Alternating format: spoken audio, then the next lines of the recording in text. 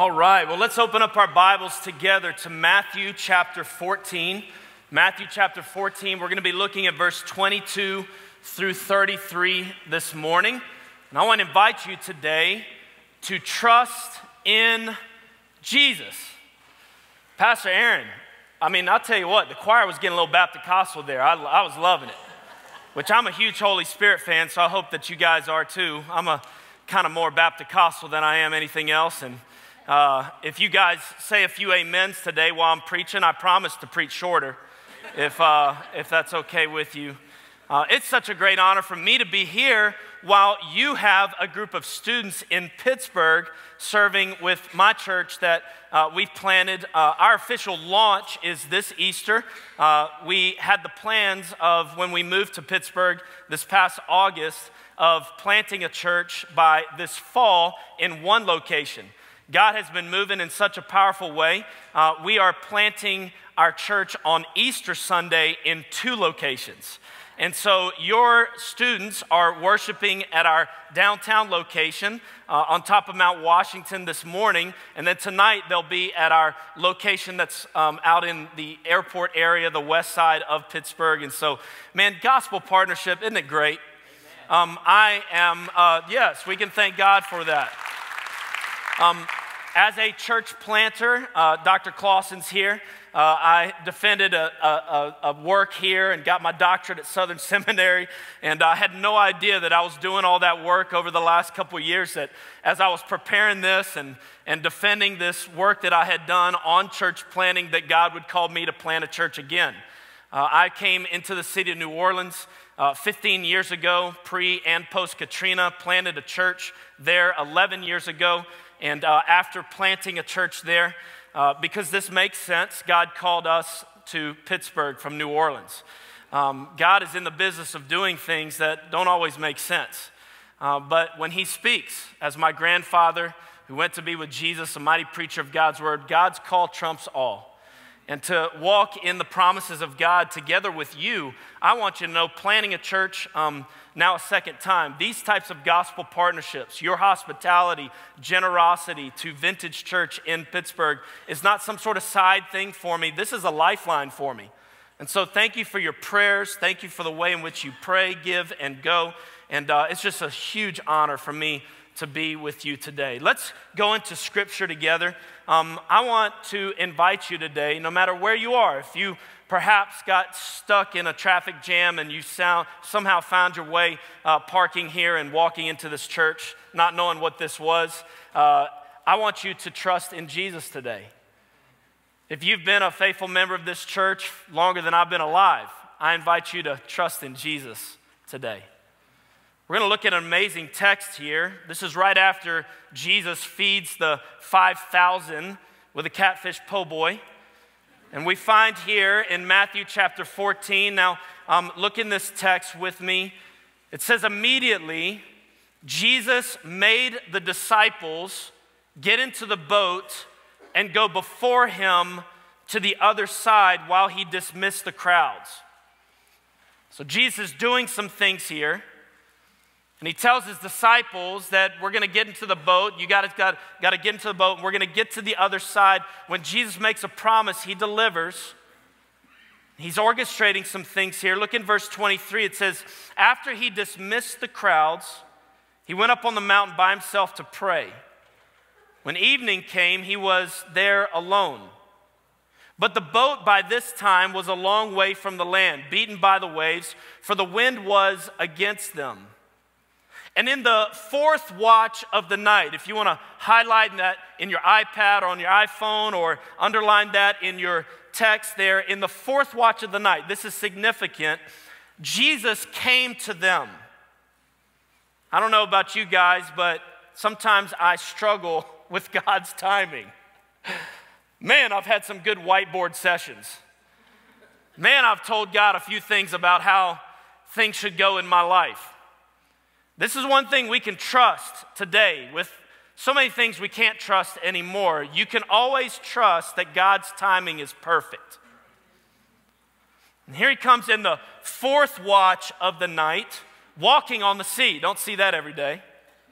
In verse 26, it says, When the disciples saw him walking on the sea, they were terrified and they said, Ah, it is a ghost. They cried out in fear. But immediately in verse 27, beautiful, kind words of Jesus, Jesus spoke to them, saying, Take heart, it is I. Do not be afraid. And Peter answered him. Anybody love Peter? I love Peter. When you read about Peter, it's hope for guys like me and your pastor. Because Peter doesn't always get it right. But yet, God's in the business of doing for us what we cannot do for ourselves. And here, Peter, I love the boldness of Peter. He answered him, Lord, if it is you, and Peter's self aware, he doesn't just say, I'm coming. He says, Command me. Peter was fully aware that he had no ability to walk on water. So he says to Jesus, Command me to come to you on the water. So Jesus said, Come. So Peter got out of the boat and walked on the water and came to Jesus. But when Peter saw the wind, he was afraid. And beginning to sink, he cried out, Lord, save me. And so Peter had taken one leap of faith.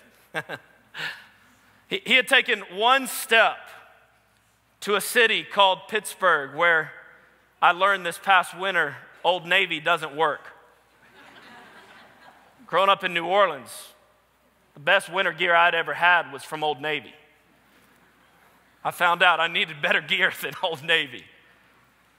So take one step, and it's real easy to take one step of faith, like Peter did, and, and to find yourself in a city where people don't talk like you, and, and to look around and, and to see the, the need in a city, or to see what's overwhelming about this leap of faith that you've answered in your life to follow God, and to look around and, and to perhaps see what's stacked up against you. So, can I ask you today, are you here in the house looking at the wind and the waves or the one who controls the wind and the waves? You're going to find out real quick. I've come all the way from Pittsburgh. My family and I drove through a tsunami last night to get here. Um, we've come all the way to Pittsburgh, and, and I hope somebody gets something from this, Pastor Aaron, but like, I'm just preaching it myself today. So I hope you guys get something, but I'm, I'm trying to remind myself today to trust in Jesus because over the last few months, I've, I've spent too much time looking at the wind and the waves. And so Peter takes his eyes off of Jesus. He cries out, Lord, save me. In verse 31, it says, Jesus immediately. Anybody thankful that Jesus is there? Anybody thankful for the amazing saving grace of Jesus? Jesus immediately reached out his hand and took hold of him, saying, O you of little faith, why did you doubt? And when they got into the boat, the wind ceased. And those in the boat worshiped him, saying, Truly, everybody say, Truly, truly, you are the Son of God. The word of the Lord. Specifically, over the last couple years, there's been a phrase that I've repeated to myself over and over and over again. And it's this reflective praise inspires future perseverance. Reflective praise inspires future perseverance. Um, to summarize myself to you, I was born and raised in the city of New Orleans, but I'm a first generation American. My entire family's from South Africa. Uh, my parents were just faithful members of a church, um, grew up as preachers' kids, but hadn't yet been called by God into full time ministry. And a Mississippi preacher showed up in South Africa, preached a revival. God used that preacher to call my parents to America. And in two months, they sold all their possessions and moved from South Africa to America as missionaries to America. And I know that's tough for us to hear, but praise God, America's not the hope of the world. We need the world to come to us, and God calls people to us too. And so, um, if I could just say, my parents took this leap of faith to a place called New Orleans. That was in 1979. I was born in 1981.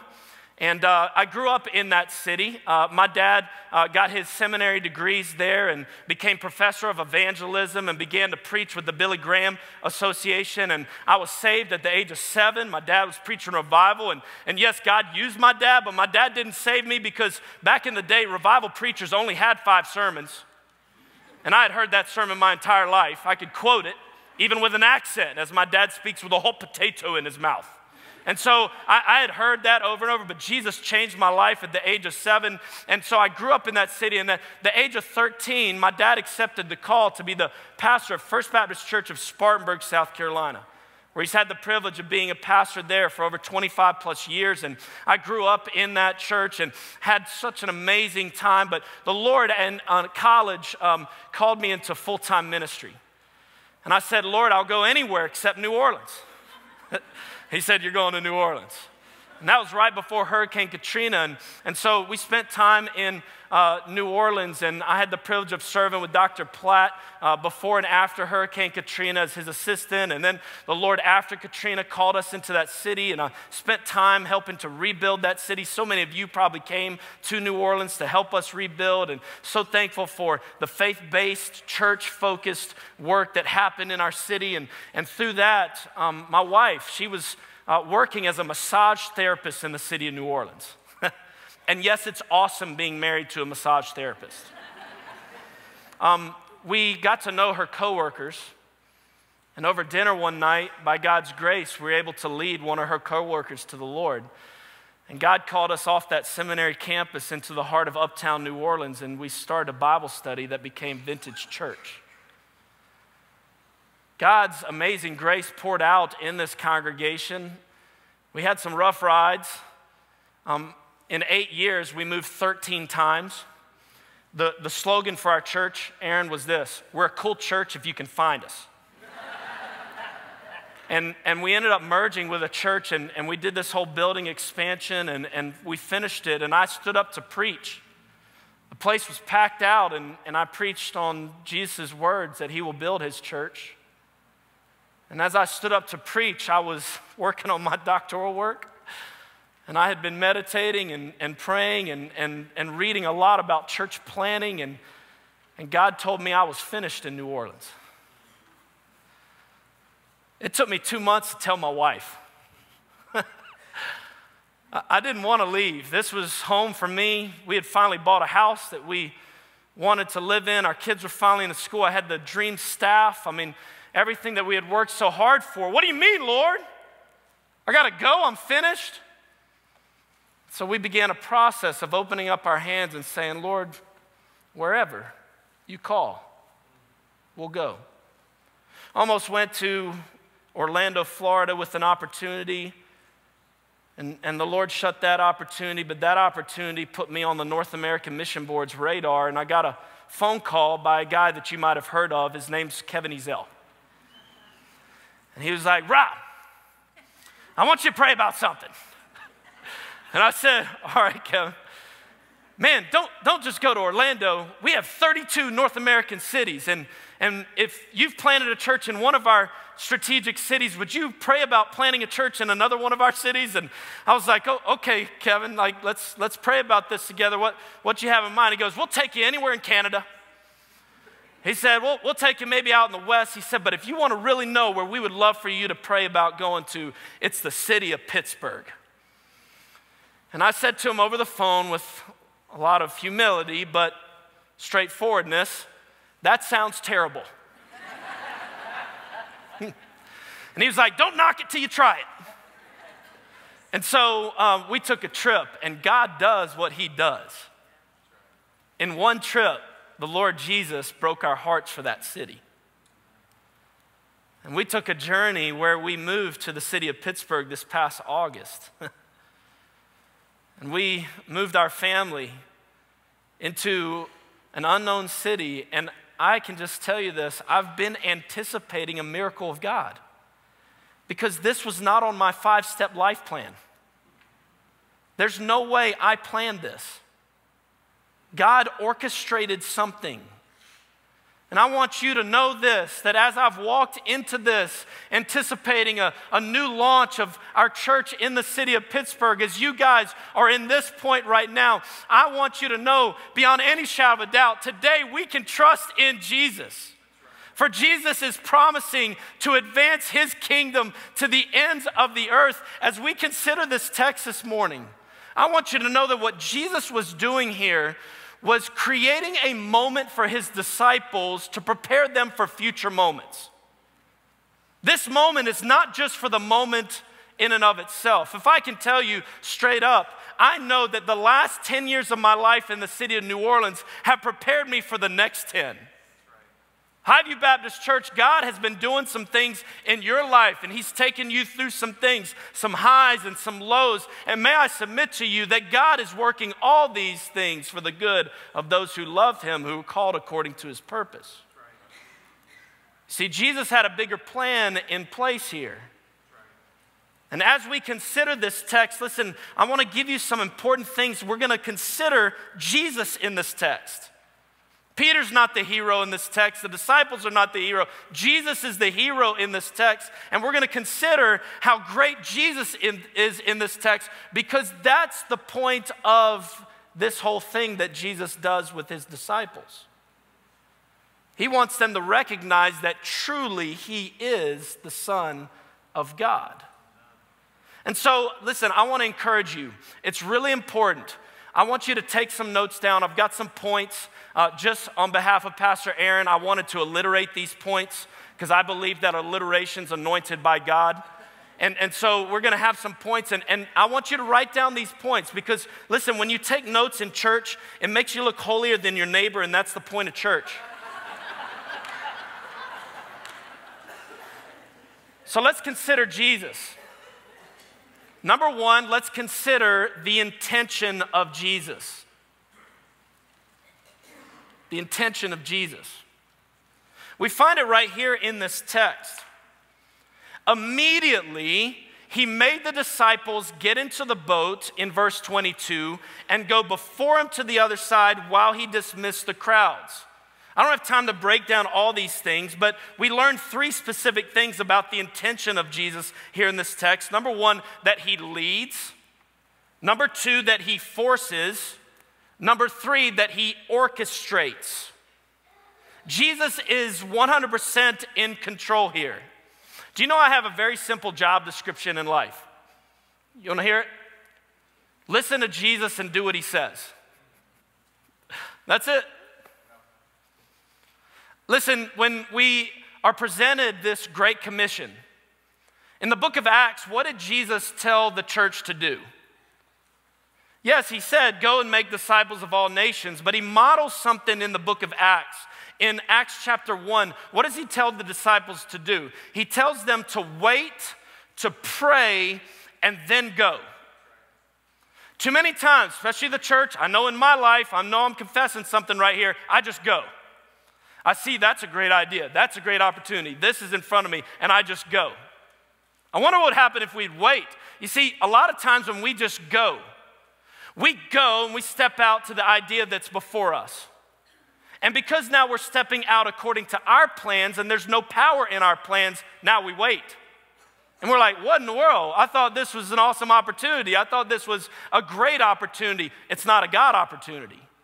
And so we're waiting and waiting and waiting. And we're like, why isn't anything working? Why aren't we seeing people saved? Why isn't things happening? And then we get desperate. And if we're honest with ourselves, most of us in this room only pray when we're desperate. I wonder what would happen if we waited upon the Lord. We truly sought after the Lord. And then when He spoke to us as our commander in chief, we militantly obeyed the Lord. You see, Jesus is orchestrating this. He's leading his disciples. He makes them go into the boat. He pushes the crowds away. He goes up on the mountaintop. He's leading this. And this is not random. Nothing Jesus ever does is random. He is orchestrating something, and sometimes the second point there, he forces. Anybody thankful that Jesus has forced you sometimes? He makes me lie down in green pastures. Forceful rest has been important in my life. Sometimes I've had no choice but to rest. And then he orchestrates. He's forcing things and he's orchestrating and he's orchestrating things because he's about to teach his disciples something so important, which brings us to the second thing the intercession of Jesus. As he pushes these disciples into the boat and as he goes up upon the mountain after dismissing the crowds, in verse 23 and 24, it says that he was by himself praying. There's two things we know about the intercession of Jesus. Number one, we know that he prays. Number two, we know that he knows. My dad had the great privilege of being Dr. Billy Graham's pastor. And he wrote a book with the Billy Graham Association called When God Prays. Isn't it amazing that God prays for us? Do you know that even if you're at a place right now and your back's against the wall, you don't know what to do with something that's going on in your life? Can I assure you that God's word says that the Holy Spirit will intercede for you with groans too deep for words? He prays. But secondly, he's up on the mountain, and, and what's going on with the disciples? They come upon a storm. Um, there was never one second where Jesus didn't know that there was a storm. I know a lot of us feel like when we're in the storm that Jesus has forgotten about us. He knows. In fact, may I submit this to us today? He's the one who led them into the storm. So he knows this. The intercession of Jesus always trusts that Jesus is there. And today, if you're here today and you don't know Christ as Lord and Savior, may I, with the power of the Holy Spirit through these words, urge you by God's grace to receive Jesus Christ as your Lord and Savior. For when you are in Christ Jesus, He'll never leave you nor forsake you. You can trust in Jesus and you can trust the intercession of Jesus, which brings us to the intervention of Jesus. We find the intention, the intercession, but in verse 25 through verse 32, I don't have time to read all this. We find the intervention of Jesus. There's a number of things we find about Jesus here. First, that he arrives. Second, that he reveals. Third, that he answers. Fourth, that he saves. Isn't it amazing that he arrives? But he doesn't arrive right away. He arrives on the fourth watch of the night. You have to go into the book of John to find this. In the book of John, it says that the disciples rode for about three to four miles before Jesus showed up. I played basketball like 40 pounds ago. I would have tapped out at mile two, I'm just telling you. Three to four miles, these guys were in the storm rowing. Some of you guys have come into this room today, and this is you. You're here, you're in the middle of the storm. Life is piling up on you left and right, and you're right here. May I share this with you? Maybe Jesus is leaving you in this place for a while because, see, Jesus is not just worried about this moment, He's preparing the disciples for future moments. And in this moment, these disciples are building spiritual muscles that's going to prepare them for future moments. I played basketball, as I shared with you, throughout college. Listen, what a great game last night. Throughout college, we were awful. Now, it might have been me as the problem, but we were on terrible teams. I couldn't understand why God would allow me, after such a successful high school career, to have such a terrible college career. And then it dawned on me God was preparing me to plant a church. he was preparing me for something. And so he arrives. Isn't it amazing, though, that he arrives here in this text? And as he arrives, he um, shares who he is. He says, Take heart, it is I. Do not be afraid. Now, what, what is significant about this? He reveals who he is before he calms the storm. What does that tell us here in the house?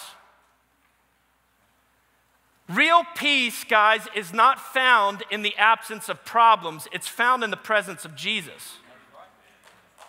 When my father in law died of cancer a few years ago, the most powerful praise that ever came out of my family's lips was actually when my father in law died. Because he loved Jesus and we praised Jesus in the storm. Praising Jesus when it's all good and the storm's calm, that ain't real praise. Real praise comes when all you got is Jesus. And sometimes Jesus will put you in the storm. He'll leave you at this place. So he reveals, and after he reveals, don't you love Peter? Peter steps out. And Peter says, Command me and I'll come. He's fully aware he can't do this. And I just love the faith. Some of you guys take that leap of faith. He steps out on the water and he takes this leap of faith. I don't know what you're going to do, God. I don't know how this is going to happen, but I see man, you're walking on water and I want to be a part of what you're doing. So Jesus invites him out, and, and very quickly, as you would too, Peter takes his eyes off of Jesus and begins to sink, and we find that Jesus immediately reaches out and saves Peter. He brings Peter into the boat, which brings us to the next point here. We find the inspiration of Jesus. It says, Those in the boat worshiped him, saying, Truly, you are the Son of God. Which means what? Before this, they weren't convinced. Before this, they had doubts. Yes, they had thrown down their nets to follow him, but they were, man, concerned. Man, Jesus, we're walking around as homeless people right now. People hate us. People are doubting us. I don't know what you were doing. That catfish po' boy miracle, awesome. But how'd that happen? And, and all this walking on water, and now you're going, and they weren't convinced. But in this moment, as Jesus brings them in and he loves them, he teaches them that he is. He is. I preached a series in the city of New Orleans five years ago on the I am statements of Jesus. We called it Big Easy Jesus. Do you know what I'm preaching in Pittsburgh right now? Steel City Jesus. I don't know what we, Louisville Slugger Jesus is what we would call it here. I don't know. But, but whatever, whatever we do, what am I doing? I think it's most important. I don't know about y'all. I'm kind of tired of hearing everybody's opinion about everything. What does Jesus say about himself? That's what we're going to build this new church in Pittsburgh upon the words of Jesus. And in these statements, Jesus declares, I am the bread, I am the light, I am the door, I am the resurrection, I am the way, I am the vine. And so write this down here little belief, little trust. Big belief, big trust. The greatest thing Jesus could do for his disciples before they would be sent out, filled by the Holy Spirit to go and make disciples of all nations, was to build up a big trust in Jesus. A big trust in Jesus. And once Jesus does this, it brings us to our final point the invitation of Jesus. You know, sometimes you got to learn to trust before you live to trust. And the invitation of Jesus is found later on in Matthew chapter 28. You know this scripture. It's called the Great Commission. But I want to show you something amazing in this text. In Matthew chapter 28, it says, And Jesus came and said to them, All authority he is. In heaven and on earth has been given to me. Go therefore and make disciples of all nations, baptizing them in the name of the Father and of the Son and of the Holy Spirit, teaching them to observe all that I have commanded you. And here now is the X factor to the Great Commission. Jesus declares, Behold, I am, He is. I am. He is with you always to the end of the age. This is the X factor to the Great Commission. I don't know what kind of strategies we're going to come up with in the church. I don't know what our buildings are going to look like in the future. I don't know what the landscape's going to be in our country for Christianity and the freedom for us to proclaim, but I know this Jesus was, Jesus is, Jesus will be completely victorious. That's what I know. And so, guys, as I took this leap of faith, to the city of Pittsburgh, I had the privilege of preaching on my last Sunday with the church that I had planted.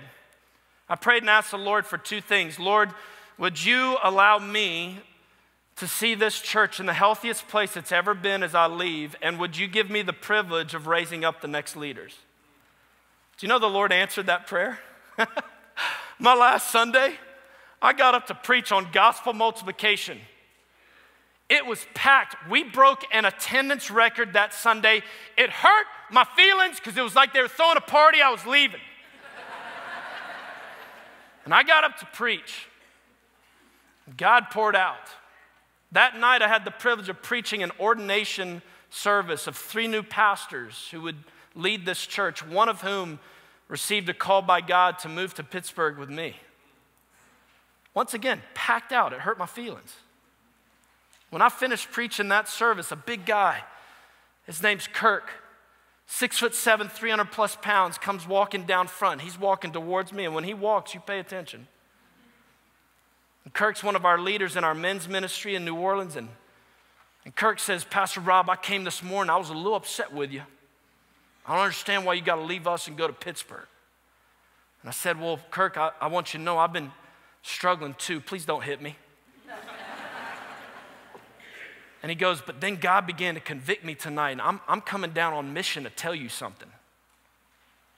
He said, I want you to know, I know you love us, and I know that you care for us, and I know I know that you love the city of New Orleans, and, and I, I got to believe you're struggling. But then God began to convict me as I, I came this morning. We start celebrating how God's advancing his kingdom, not just here in New Orleans, but now in the city of Pittsburgh. And then I come tonight, and this is this big celebration. And it dawned on me, Pastor Rob, if you wouldn't have come to New Orleans 10 plus years ago to plant this church, today I wouldn't know Jesus and I'd be divorced. God's spoke to me so clearly that there's someone in Pittsburgh who used to be like me. And if you're struggling right now, Pastor Rob, I'm just down here to tell you, you ain't got no choice. You're going to Pittsburgh. so honestly, I'll just be, yes, God called me, but I might be in Pittsburgh because he threatened my life. I'll just keep it real. Regardless, can I just promise you this? What Jesus Christ has done for me, not in an advancement of me or anything of this world. What Jesus Christ has done for me to save me by his grace, and what he's done for me in using me despite me in his amazing grace to advance his kingdom to the ends of the earth. Highview Baptist Church, Jesus Christ can do the same for you. For he is. I invite you today to trust in Jesus. Let's pray together. Father, I pray for my incredible friends here today that as we respond, Lord, that we would trust in Jesus. Lord, I pray for my friend who might be here today who doesn't know you as Savior and Lord. Lord Jesus, by the power of the Holy Spirit, would you bring conviction upon their life. And Lord, would your kindness lead them to repentance? Lord, may they today deny themselves, take up their cross, and follow you. Save sinners today, Lord Jesus. And for those, Lord Jesus, who know you, who who've journeyed with you a long time, God, I pray that you would build within them a big faith in you. For you are the great I am. And Lord Jesus, we surrender and we say to you, whatever, Lord Jesus, wherever, we will follow you. We love you, Jesus. It's in your name we pray.